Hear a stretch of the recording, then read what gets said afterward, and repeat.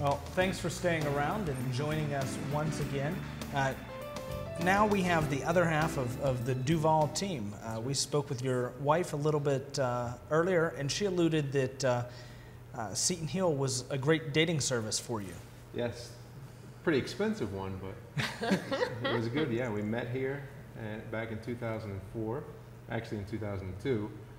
She didn't talk to me until 2004, Oh. and then we got married in 2006. Wow. So, Well, congratulations! Great to uh, great to meet people who have met up here on the hill. right. So you are an author as well. Yes. Uh, enjoy writing, obviously, but prior to your days as an author, you uh, spent a little bit of time in professional wrestling. Is that correct? that is correct. Yes, I was the Prince of Polyester. I did mostly what you would consider the minor leagues of pro wrestling in kind of Ohio, West Virginia, um, Indiana. But I was also on TV with what was then the WWF uh, three or four times. So that was a lot of fun. Um, could be dangerous at times, depending on who you were in the ring with, but I enjoyed it. You were also featured in the Pro Wrestling Illustrated magazine Top 500, correct? Yes, back in I think that was '96. I was on there. Just just barely made the cut, but it's still um, pretty prestigious. I guess. Yes, absolutely. Who cares if you just barely made the Yeah. cut? A lot of people didn't. That's right. So let's talk a little bit about your writing. What is your uh, current project? Right now, I'm working on a YA story about a girl who's a senior in high school and discovers that there's an alien rock there that all the faculty fight over. Ah, interesting. And of course, he's a teacher. So he knows a little bit of something about faculty squabbles. Yeah, exactly. So, who's your favorite character in the piece that you're working on right now? Well, uh, I would say probably the main character. Her name is Paige, um, and I just like exploring how characters develop over the course of the book and how they change. Does it ever shock you as you're writing uh, direction that a character takes, maybe that you hadn't planned out in the beginning? Usually it does because I'm more of a, the kind of person who tries to get like a beginning and an end and then write my way from the beginning to the end. So Mm. sometimes the turns and twists along the way are a little surprising. Absolutely. So, do you draw any inspiration for this character from uh, any one individual or from experiences you've gathered? Well, it's a composite of people, of course, um, but the hardest thing, obviously, for me is writing from the perspective of a teenage high school girl. But since I teach high school, um, I do get to see that thought process in action.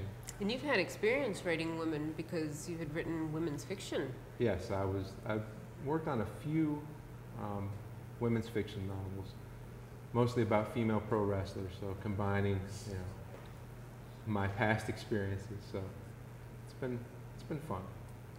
So, other than writing, do you have any other hobbies that uh, you engage in or any skills, hidden talents? Well, if I told you about all my talents, they wouldn't be hidden anymore. So I'll keep those. secret. uh, my other hobbies, I like to run. Not very quickly, obviously. You can tell probably by looking at me, but I like to run. Um, and I also do martial arts. I practice Krav Maga, which is an Israeli self-defense, and then Brazilian Jiu-Jitsu. And your Okay. wife does that My with wife you, does doesn't she? Krav with me. She's actually probably, I don't know, she's quicker than I am. So I have to be careful when we're sparring. So, uh, I, I'm always interested to see who writers read uh, because that maybe tells us a little bit about who Oh, you sure. are. Um, what, what would we find if we looked on your bookcase, or, or what are you reading right now? Right now, I'm reading a book called Swamplandia, uh-huh. Um, which is good. The only thing that I don't like about it is there's an exclamation point in Swamplandia, so every time I read it, I think it's the end of the sentence, but it's Oh, not always. But the book itself is good. So, you would be the wrong person to do the book on tape That's right. for that That's because right. your, Yeah, your would be punctuation pausing. would be completely thrown off. Exactly, yes. Um, primarily, I like to read. I mean, I've got everything Stephen King's written, but I'm a pretty eclectic reader. So um, Also a Jane Austen fan because we know your wife is a huge Jane Austen fan. I do, I do like Jane Austen. Maybe not as much as my wife, but um, I really enjoyed the novel Emma. That's my favorite, I think, of the of Austen's work. I agree. I like that one too. And Clueless was based on. It. Clueless Emma. was Sure. based on it, so yes.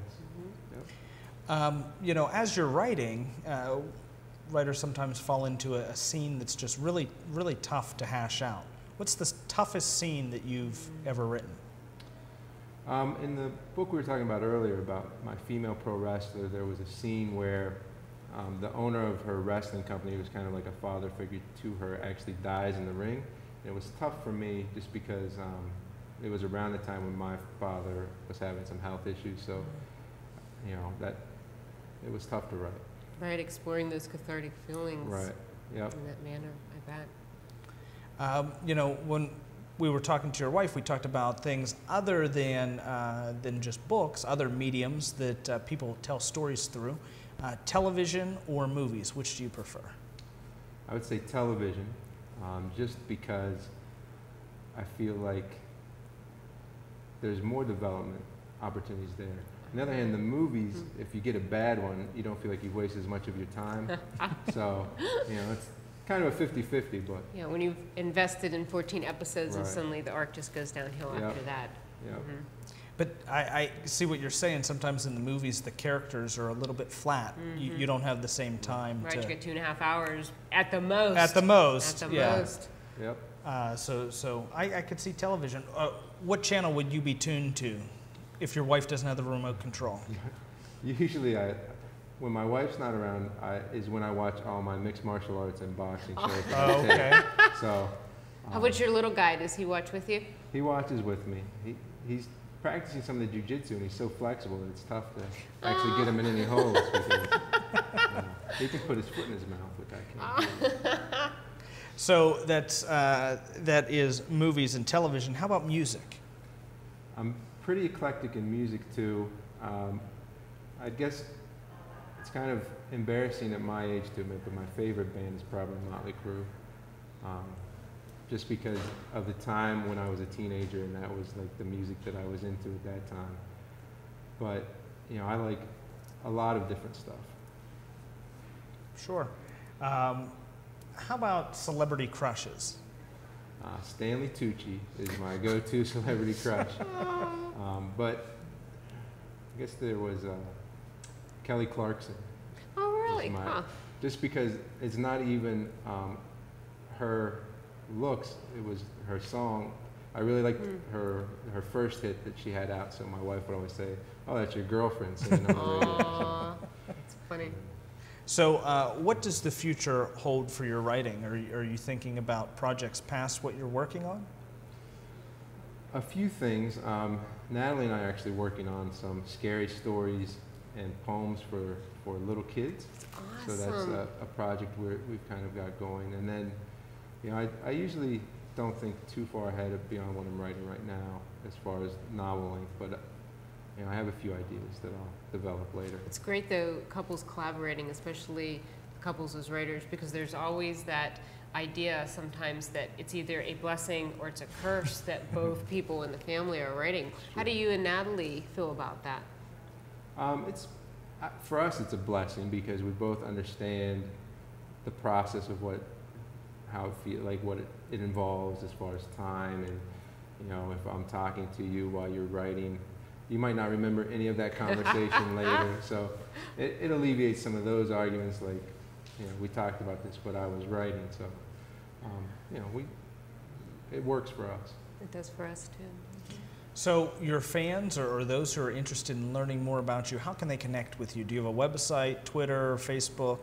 I use Facebook a lot, so it's um, the Real Duve, which is also my Twitter handle at the Real Duve.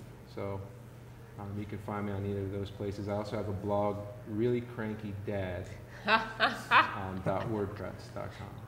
Okay. So that's Matt Duvall. Matt, thanks for joining us here today and telling us a little bit about uh, what you're working on and what's coming up in the future. If you'll stick with us, we'll be back in just a